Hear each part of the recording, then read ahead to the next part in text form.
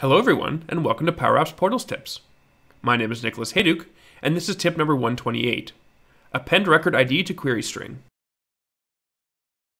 In my last tip, I looked at using the append attribute value to query string options so that we can display the case number of the case we just created. That works great for simple columns associated to the record we just created. But what if we wanted something a bit more complex, like the email address of the contact that created the case? Since this isn't an attribute on the record that was just created, but instead on a related record, can we still somehow do that? The good news is that we can, using the append record ID to query string settings. The settings here are simple.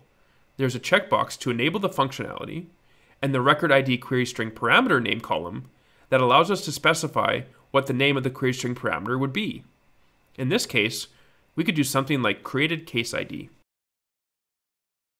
Now, when the case is submitted, we're redirected to a page where the query string includes the ID of the newly created case. We can then use Liquid to get the email address of the primary contact of the case by using the entities object with the ID of the case, and then using the primary contact relationship to get the email. Thanks for watching, and I hope you found the Power Apps Portals tip number 128 on append record ID to query string useful.